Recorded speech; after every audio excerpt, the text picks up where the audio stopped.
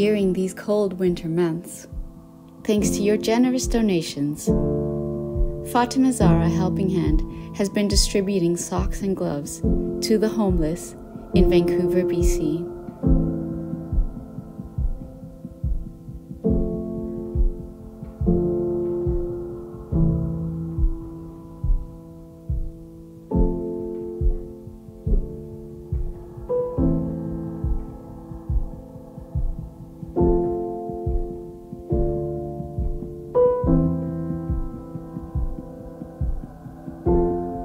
Give now.